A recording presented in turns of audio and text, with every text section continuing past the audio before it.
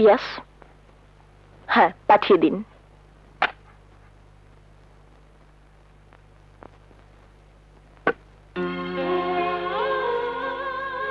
কেন রেখেছেন? আমি কোনো প্রশ্ন করা পছন্দ করি না। উত্তর চাই। কি নাম আপনার? সম্রাট। রাস্তায় আপনার মারপিট দেখলাম। চার পাঁচজন গুন্ডাকে বেশ ভালোভাবে পেটালেন আপনি। একজন অসহায় মানুষকে বাঁচালেন। অথচ বিনিময় কিছুই নিলেন না। মনে হলো লোকটি আপনি খারাপ না। কি করেন? যা দেখেছেন তাই করি। মানে? মানে মারামারি গুন্ডামি এসবই এখন আমার কাজ। কত উপার্জন হয়? ঠিক নেই। বেশ কজন মিলে করি তো। ভাগে যা পাই কোনো রকমে চলে যায়। চাকরি করবেন? চাকরি? হ্যাঁ দশ হাজার টাকা বেতন দেব। কিন্তু কাজটা কি? যা করেন তাই। তবে এখন থেকে এই কাজটা করবেন কেবলমাত্র আমাকে গুন্ডাদের হাত থেকে রক্ষার জন্য অর্থাৎ আমার ব্যক্তিগত দেহরক্ষী আই মিন বডিগার্ড দুঃখিত ম্যাডাম এই ধরনের চাকরি করা আমার পক্ষে সম্ভব নয় যদি বিশ হাজার টাকা বেতন দেই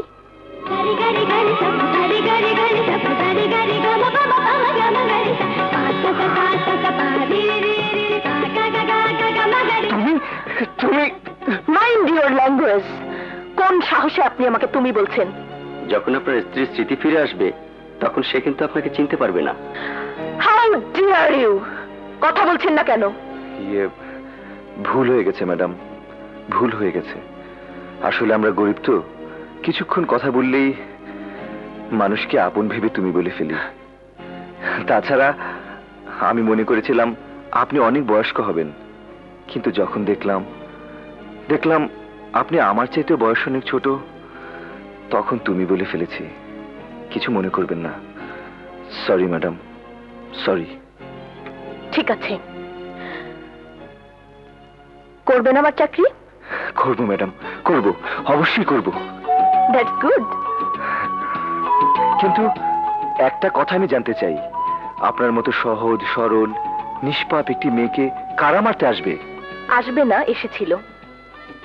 কয়েক মাস আগে একবার কয়েকদিন আগে একবার। তারা কারা? কেন আমাকে মারতে চায়? কিছু জানি না। বাদ দিন সেসব কথা। কবে নাগাদ জয়েন করতে পারবেন? আপনি যখন বলবেন তখন থেকেই। That's good I like it কাল থেকে জয়েন করবেন। যাবার সময় অ্যাপয়েন্টমেন্ট লেটার তো নিয়ে যান। আচ্ছা ম্যাডাম হাই আহ, শুনুন। হ্যাঁ? যাবার সময় অ্যাকাউন্ট থেকে পঞ্চাশ হাজার টাকা নিয়ে যাবেন। আমি বলে দিচ্ছি। পঞ্চাশ হাজার টাকা দিয়ে? আমি কি করব ম্যাডাম? আপনি আমার প্রাইভেট সিকিউরিটি বেশিরভাগ সময় আপনাকে আমার কাছে থাকতে হবে। আর আমার পাশে দাঁড়াবার মতো উপযুক্ত পোশাকও আপনাকে পরতে হবে। আজই কিনে নেবেন। যান। হুম। এ তুমি কি করলে Priya? Private security I mean প্রহরী। সামান্য একজন প্রহরীর হাতে পঞ্চাশ হাজার টাকা তুলে দাও তোমার ঠিক হচ্ছে না প্রিয়া। ও তো আর ফিরবে না। টাকা নিয়ে পাখি উড়াল দিবে। আহ মিস্টার লোকমান অনধিকার চর্চা আমি পছন্দ করি না। আপনি যান। আমি এখন ব্যস্ত। আমি যাব।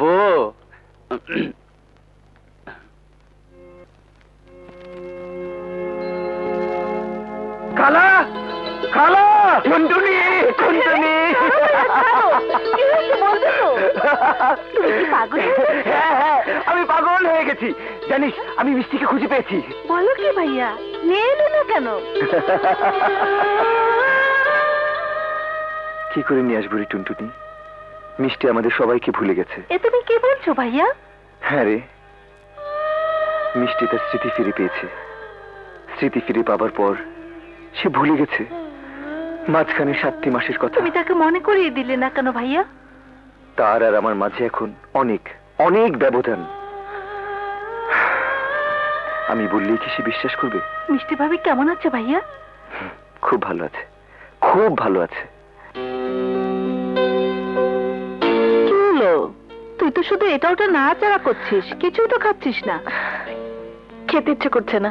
খেতে ইচ্ছে করছে না মানে? না খেলে চলবে কি করে? খাবার দাবার দেখলে কেমন যেন লাগে। এ তো ভালো কথা নয় প্রিয়া। তো ডাক্তার আঙ্কেলকে খবর দিতে হবে। হাই প্রিয়া! আপনি? এত সকালে? আরে আঙ্কেলের কাছ থেকে শুনলাম গাজীপুর তোমার সিমেন্ট ফ্যাক্টরি পরিদর্শনে যাবে। তাই চলে এলাম। এত দূরের পথ তোমার একা যেতে খারাপ লাগবে। দুজনে গল্প করতে করতে যাব। আরে আমাদের লন্ডনে হবু দম্পতিরা বিয়ের আগে দূরে কোথাও বেড়াতে যায়। আরে চলো চলো কামান হ্যাঁ চলো। না না প্রিয়ার তখনও নাস্তা করা হয়নি। How funny! এখনও ব্রেকফাস্ট করা হয়নি।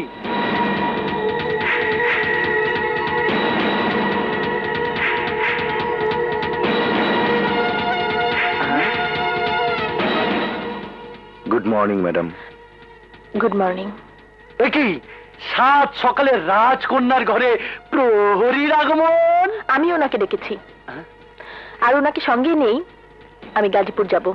আশ্চর্য প্রিয়া। তুমি আমার হবু স্ত্রী। লন্ডন থেকে আমি তোমার জন্য এই বাংলাদেশে ফিরে এসেছি। আমি থাকতে তুমি চাকর বাকর সঙ্গে নিয়ে গাজীপুর যাবে? মিস্টার লোকমান হায়দার। বলো। আপনি ভুল করছেন। উনি চাকর বাকর নন। উনি আমার নিরাপত্তা অফিসার। যেহেতু উনি আমার নিরাপত্তার বিষয়টি দেখাশোনা করেন সেহেতু উনি আমার সঙ্গে যাবেন আপনি নন। তাছাড়া হবু স্ত্রী কিংবা হবু স্বামীর সঙ্গে বিয়ের আগে একসঙ্গে ঘোরাফেরা করাটাও আপনাদের লন্ডনে শোভা পেলেও বাংলাদেশে শোভা পায় না। আপনি এখন যেতে পারেন। আমি পরে আপনার সঙ্গে যোগাযোগ করব। আমি কি যাব?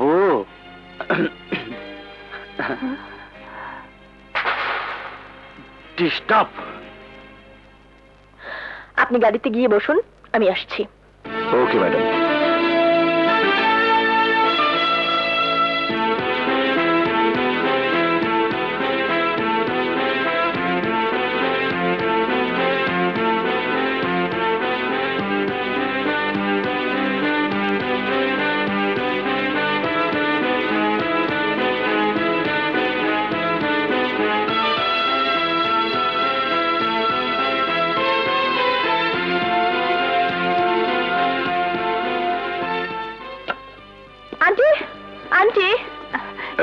কি হয়েছে এই যে আঙ্কেল এসব কি শুরু হয়েছে?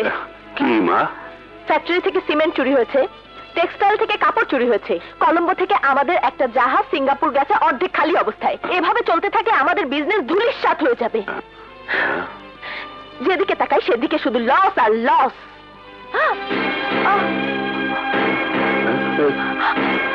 Madam madam madam! সামান্য একজন সিকিউরিটি কোন সাহসে তুমি প্রিয়াকে স্পর্শ করলে? থামো! কথা না বাড়িয়ে ওকে ভিতরে নিয়ে চলো। যা যা যা যা যা যা। কোনো খারাপ কিছু নয় তো ডাক্তার? রিপোর্ট না আসা পর্যন্ত কিছুই বলা যাচ্ছে না। ক্লিনিক থেকে ফেরার পথে আমি টেস্ট রিপোর্ট নিয়ে আসব। Thank you doctor. চলি মা।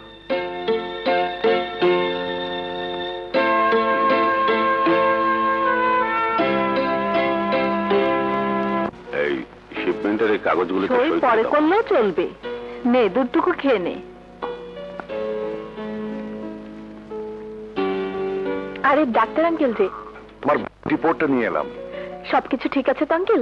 না মানে না মানে? কথাটা তোমাকে কীভাবে যে বলি? কি এমন হয়েছে আমার যে আপনি বলার ভাষা খুঁজে পাচ্ছেন না? কি এমন কঠিন অসুখ হয়েছে আমার?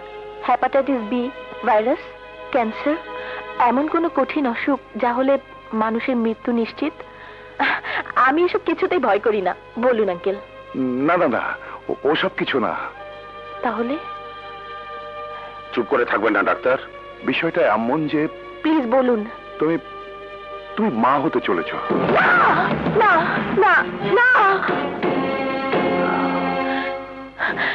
এসব আপনি কি বলছেন ডাক্তার আঙ্কেল? সব মিথ্যে এ সব মিথ্যে। নিশ্চয়ই অন্য কারোর সাথে আমার রিপোর্ট বদলে গেছে। বা যে মেশিনে আমার ব্লাড পরীক্ষা করেছেন, সেই মেশিন খারাপ ছিল। ঠিক বলেছি না, ডাক্তার আঙ্কেল? এ ধরনের ভুল পরীক্ষা আজকাল অনেক ক্লিনিকেই হয়ে থাকে। প্রিয়া, আমি তোমাদের পারিবারিক ডাক্তার। তাই তোমাকে জানানোর আগে নির্ভুল করার জন্য এই টেস্টে আমি বারবার করেছি। কিন্তু প্রত্যেকবারই আমি একই উত্তর পেয়েছি। তুমি অন্তঃসত্ত্বা।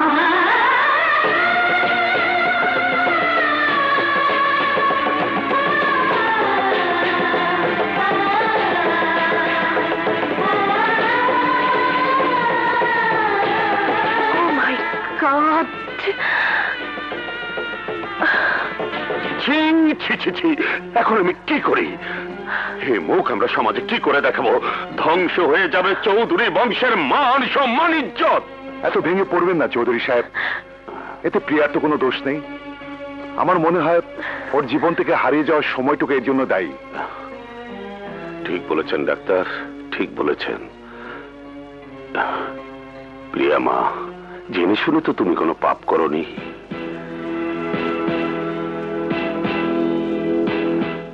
তবে হ্যাঁ এখনই মুছে ফেলতে হবে তোমার কলঙ্কিত অতীত অজান্তে যে সন্তান তোমার গর্বে এসেছে পুরোই তাকে নষ্ট করে ফেলতে হবে।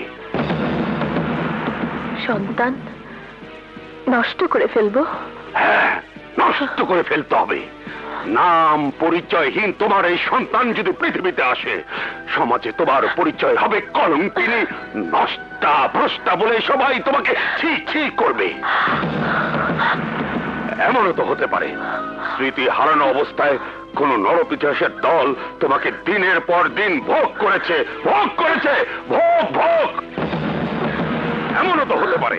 স্মৃতি হারানো অবস্থায় তুমি কোনো পতিতালয় ছিলে। এক্সকিউজ মি এমনও তো হতে পারে। স্মৃতি হারানো অবস্থায় ম্যাডাম কাউকে ভালোবেসে বিয়ে করেছিল? এমনও তো হতে পারে। সেই ভালোবাসার ফুল ফুটেছে ম্যাডামের গর্ভে? একবার একবার ভালো করে ম্যাডামের দিকে তাকিয়ে দেখুন তো। আপনার কি মনে হয় এই পবিত্র ফুলে কলঙ্কের কোনো দাগ লাগতে পারে? Oh! আমাদের পারিবারিক ব্যাপারে কথা বলার অধিকার তোমাকে কে দিয়েছে? Sorry sorry madam I am really sorry আপনাদের পারিবারিক ব্যাপারে কথা বলাটা হয়তো আমার ঠিক হয়নি। আমি তো ভুলেই গিয়েছিলাম। আপনাদের এই ভুবনে আমি সামান্য একজন সিকিউরিটি মাত্র। সরি সরি ম্যাডাম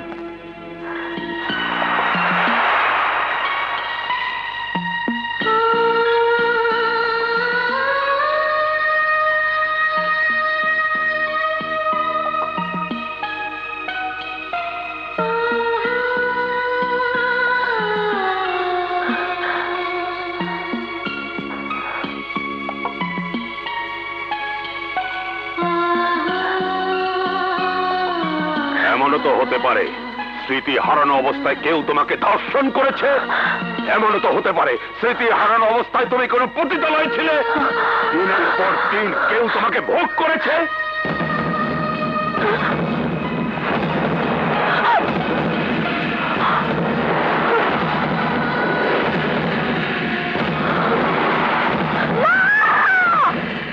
কি হয়েছে প্রিয়া? এমন করছিস কেন? আমার সন্তান। আমি দেখলাম আমার সন্তান। তুই কি কিছুই মনে করতে পারছিস না? না আন্টি আমার কিছু মনে পড়ছে না। চল মা ঘরে চল। তুমি যাও। আমি আসছি।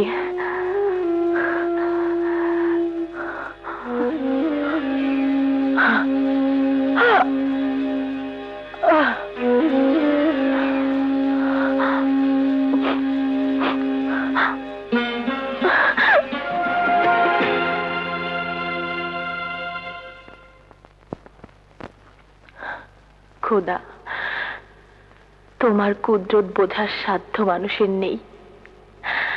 অজান্তে আমি কোনো পাপ করেছি কিনা জানি না। একমাত্র তুমিই জানো, আমার গর্ভের সন্তানের পিতাকে কি তার পরিচয়? হে খোদা, স্ত্রীর মর্যাদা দিয়ে কেউ যদি আমাকে কখনো গ্রহণ করে থাকে, আমি যদি কাউকে স্বামী হিসেবে গ্রহণ করে থাকি, তাহলে আমার জীবনে তাকে ফিরিয়ে দাও। ফিরিয়ে দাও, খোদা, ফিরিয়ে দাও। হে খোদা, আমার সব কিছু তুমি নিয়ে নাও। একবার একবার শুধু তাকে দু চোখ ভরে দেখতে দাও। আমার কাছে তাকে ফিরিয়ে দাও। আমার কাছে তাকে ফিরিয়ে দাও, খোদা, আমার কাছে তাকে ফিরিয়ে দাও। আমি তুমি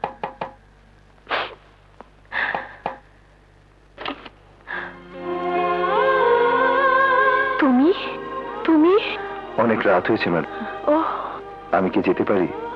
হ্যাঁ। আসুন। সালাম আলাইকুম।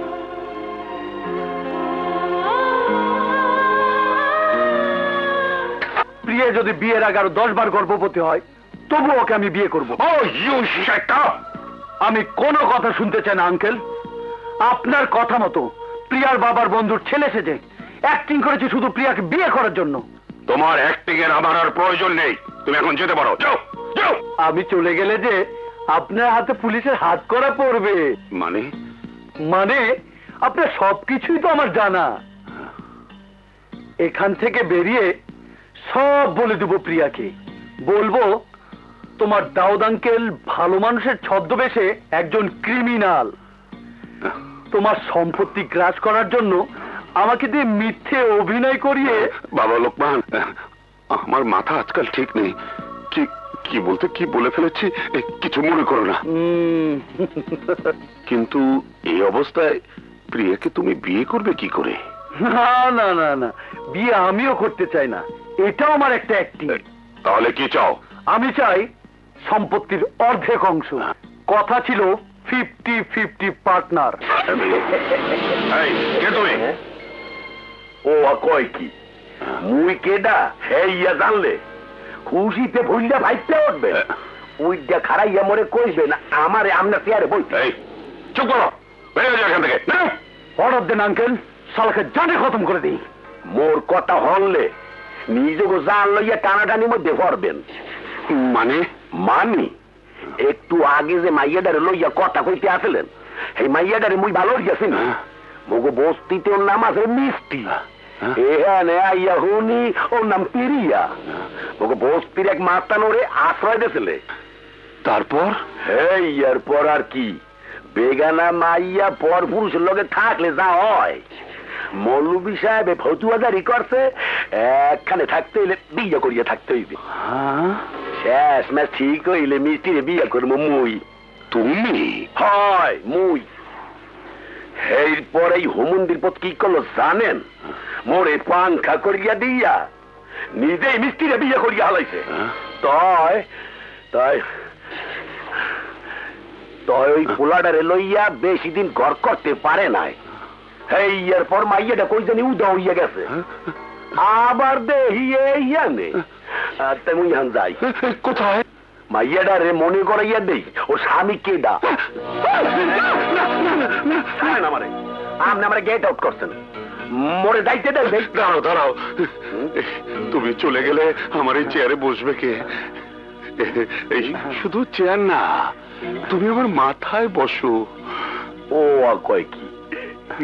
ঠিকই বলছি বাবা যে খবর তুমি দিয়েছ তাতে সারা জীবন তোমাকে মাথায় করে রাখা উচিত।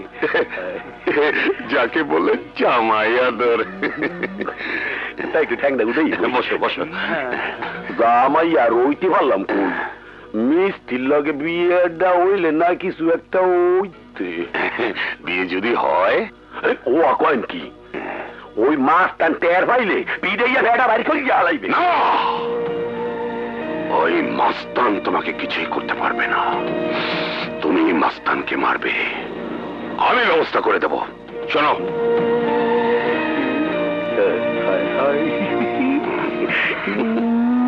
ওরে আল্লাহ রে এ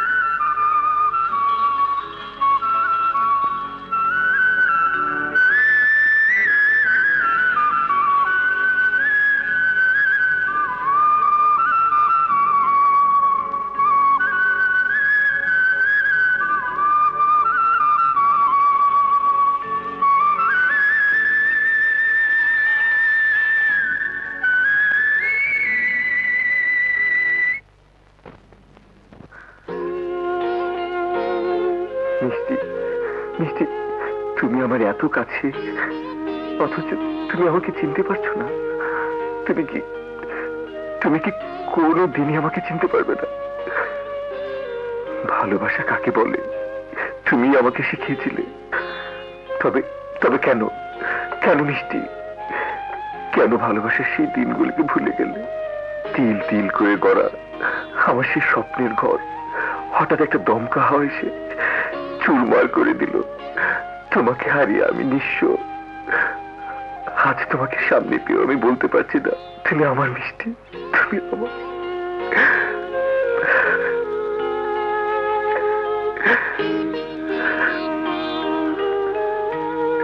আপনি? ম্যাডাম আপনি? আপনি। কেন? আপনার প্রাইভেট সিকিউরিটি? এত রাতে আপনি এখানে কি করছেন? বাসা যাননি? না ম্যাডাম। এখানে এসে বসার পর চোখটা বুঝে এসেছিল।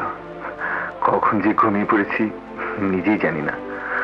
যখন ঘুম ভাঙলো তখন অনেক রাত হয়ে গেছে। কিন্তু এত রাতে আপনি? আপনার বাসের সুর আমাকে টেনে এনেছে। এসে দেখি আপনি একা একা কথা বলছেন। মিষ্টিকে আমার স্ত্রী। কোথায় সে? আমার কাছে। আমার অন্তরে। আমার হৃদয়ে। কিন্তু জানেন সে আমাকে ভুলে গেছে। ভুলে গেছে? বলতে পারেন বলতে পারেন মানুষ এভাবে সবকিছু ভুলে যায় কেন? ভুলের নামে কি জীবন? আপনার স্ত্রী আপনাকে ভুলে গেছে? আমি আমি জানি না কে আমার স্বামী কি তার পরিচয়। নাকি নাকি সত্যি সত্যি কোনো পাপের ফসল আমি গর্বে ধারণ করছি? না ম্যাডাম না। সমস্ত পৃথিবী ধ্বংস হয়ে যেতে পারে। চার টুকরো টুকরো হয়ে যেতে পারে। কিন্তু কিন্তু কোনো কলঙ্ক আপনাকে স্পর্শ করতে পারে না। স্মৃতি হারিয়ে আপনি কোথায় ছিলেন? কেমন ছিলেন? একবার মনে করতে চেষ্টা করুন ম্যাডাম। একবার নয় হাজার বার চেষ্টা করেছি। কিন্তু কিছুই মনে করতে পারিনি। কোনো স্মৃতি কোনো চিহ্ন কি আপনার কাছে নেই? আছে। এই দেখুন এটা ছাড়া আর কোনো স্মৃতি আমার কাছে নেই। এটা যদি কথা বলতে পারতো তাহলে জেনে নিতাম। কে আমার পায়েটা পরিয়ে দিয়েছিল? এক পায়ে কেউ পায়েল পড়ায় না ম্যাডাম। জানেন এমন একটা পায়েল আমার কাছেও আছে। গারি গারি গারি সপ গারি গারি গারি সপ গারি গারি গম।